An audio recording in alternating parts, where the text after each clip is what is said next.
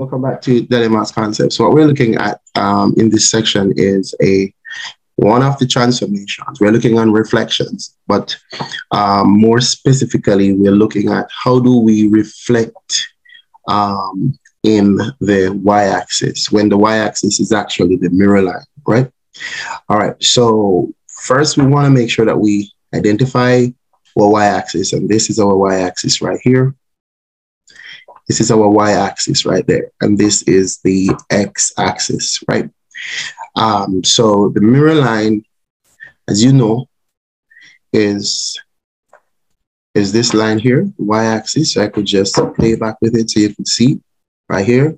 This is our mirror line. Look again. This is the mirror line. That's our y-axis.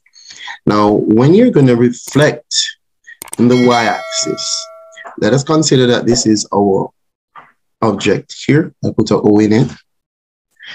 Now, the distance that each point is from the mirror line, and this is the mirror, the image will fall an equal distance behind the mirror. So if we're to the left of the mirror now, the image will be to the right, but each point will be equal in distance from the mirror. For example, let us look at the point C here you definitely see that C is two units to the left of the mirror.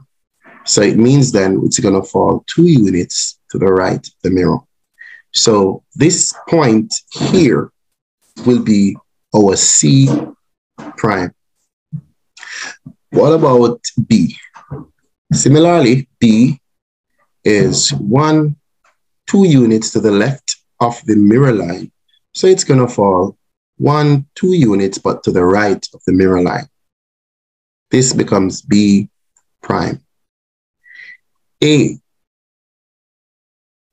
one, two, three, four units to the left of the mirror line. So it's going to fall one, two, three, four units to the right of the mirror line.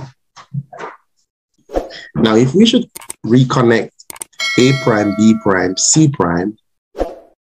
So we're looking at this, so we connect A, B, C. So if we should take a quick look, we're noticing that there are certain things that happen. So with the reflection now, if we should look at the coordinates, so let us look on the coordinates for the object. Coordinates are as follows. This is the object, and we saw the coordinates for A, it was negative 4, 3. Coordinate for B was negative 2, 2. The coordinate for C, it was negative 2, 6.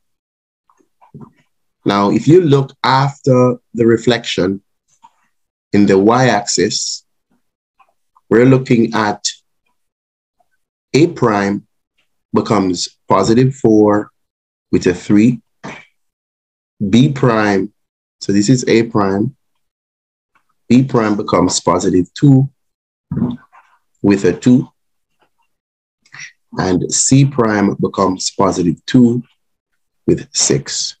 So if you're really lucky, realizing that when you reflect in the y-axis, after the reflection, if we have the coordinate xy, after the reflection, the x value will change its sign and the y value will remain as is.